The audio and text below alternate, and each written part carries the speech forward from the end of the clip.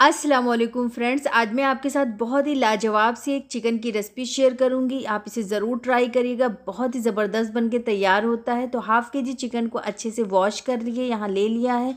दो table spoon जो है फ्रेश दही डाल देते हैं और इसमें हम हाफ़ टी स्पून फ्रेश कुटी काली मिर्च डालेंगे। हाफ़ टी स्पून ही कुटी लाल मिर्च डाल देते हैं।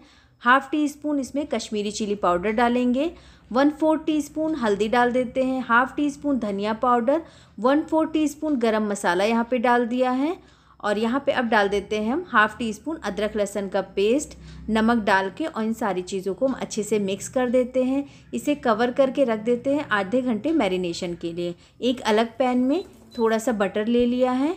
यहाँ पे कैप्सिकम के ऐसे स्लाइस कट करके डाल देंगे। अगर एक छोटा साइज़ हो तो आप पूरा ले लें, बड़ा हो तो हाफ़ ले लें। एक मीडियम साइज़ के अनियन का रिंग्स कट करके यहाँ पे डाल देंगे और फ्लेम को एकदम हाई रखेंगे और आधे मिनट के लिए हाई फ्लेम पे इसे सौते कर लेते हैं। यहाँ पे फ्रेश कुटी थोड़ी सी काली मिर्च डालेंगे, नमक डाल देते हैं और यहाँ पे बस ज़रा सा हाई फ्लेम पे बटर के साथ इसे हम मिक्स कर लेते हैं। इसे हमें सॉफ्ट नहीं करना है। यहीं पे हरी और लाल मिर्चों को कट करके डाल दिया है। अब इसे हम साइड में रख देते हैं। यहाँ पैन में ऑयल ले लेंगे और जो हमारा मैरिनेटेड चिकन था, इसमें डाल देते हैं।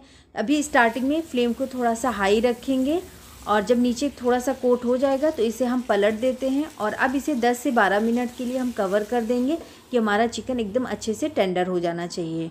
तो यहाँ पे इसे 8 मिनट हो गया है और पीसेस छोटे थे तो यहाँ पे अच्छे से टेंडर हो गया है। अब फ्लेम को हाई करके दो से तीन मिनट के लिए इसे यहीं पे उलट पलट के फ्राई कर लेते हैं। देखिए ब्राउन स्पॉट आ गया तो यहीं पे जो हमारी फ्राइड वेजीज थी, यहीं पे डाल देते हैं। अच्छे से बस एक मिनट के लिए मिक्स करेंगे और ये फाइनल हमारा स्टेप हो गया। तो इसे अब हम साइड में रख देते हैं। उसके बाद एक सॉस पैन लेंगे। उसमें एक टेबल स्पून फुल जो है बटर डाल देते हैं। एक छोटा पॉट पूरा गार्लिक का क्रश करके यहाँ पे ले लिया है। इसे बटर में हम मिक्स कर लेंगे। फ्लेम को लो रखेंगे और इसे बस एक मिनट के लिए हल्का सा रोस्ट करेंगे कि ये ज़रा सा देखिए कैरमलाइज होने लगेगा। वैसे हम यहाँ पे एक टेबल स्पून जो है मैदा डाल देते हैं। इसे भी लो फ्लेम पे थोड़ा सा बटर में और गार्लिक में भून लेते हैं। एक कप जो है मिल्क डाल देते हैं। इसमें क्रीम भी है और इसे हम मिक्स करते जाएँगे और मिल्क जो है, हम थोड़ा थोड़ा करके डालेंगे।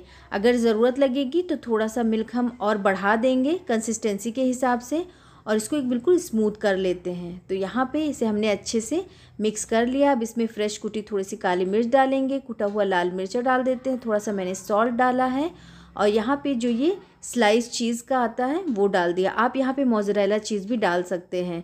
तो ये दो स्लाइस को मैंने थ्रेड करके यहाँ पे डाल दिया है और लो फ्लेम पे इसे हम मेल्ट होने तक मिक्स कर लेते हैं। तो ये हमारा ज़बरदस्त सा सॉस बन के तैयार हो गया है। तो ये एकदम लास्ट में आपको तैयार करना है, जब हमने ये चिकन मिक्स करके रख दिया है। अब इसे दोबारा हम थोड़ा सा हीट देंगे और इसके ऊपर अपने सॉस को अच्छे से स्प्रेड कर देते हैं। पूरे चिकन को वेजीज़ को हम कवर कर देंगे। उसके ऊपर चीज़ स्लाइस रख देते हैं यहाँ पे।